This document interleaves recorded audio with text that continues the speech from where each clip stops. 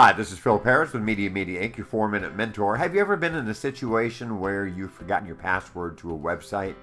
The password is still in memory with Google Chrome or Internet Explorer, and you see that series of dots, and you can still log into the site. However, you are worried that if you do something different or clear your cache, you're going to lose the ability to use your password and log into the site. So here's the solution go to the website where you have an account. I'm on the 4 Minute Mentor site. And what you're going to do is uh, you're going to highlight that series of dots. You're going to right click and you're going to see a menu come up and there's inspect.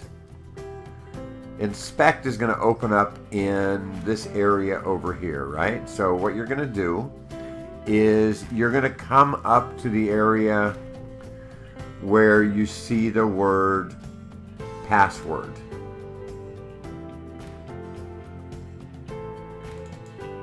You're going to click on that. Now, it might take a couple of times, but you're going to type in the word text. Ah, that was the wrong one, darn it. So let's go here.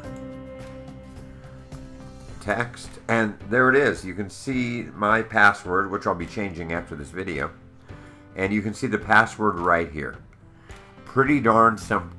Um, be patient. You might have to go a couple of times, like I say, and, and find all of the occurrences of the word password. Again, change that to text, and that's going to expose your password. Be sure to write it down, or uh, use something like LastPass, like I do. Anyway, this is Phil Parrots, Media Media Inc., your four minute mentor, and I hope this has helped. Thanks.